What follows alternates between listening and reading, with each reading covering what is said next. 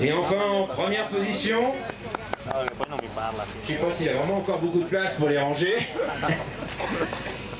C'est le grand frère d'Ivan. J'appelle l'italien Simone Origoni. Et pour remettre le trophée, c'est Philippini accompagné de Melissa Dimino, la première femme à 200 km/h. Et Philippe Billy, qui a été détenteur du record du monde à plus de 243 km/h sur sa piste de Vars.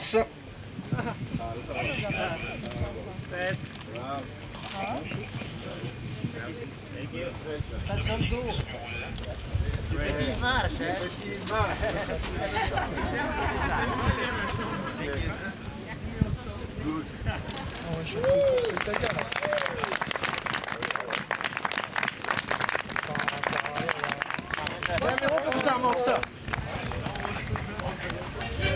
Just a go.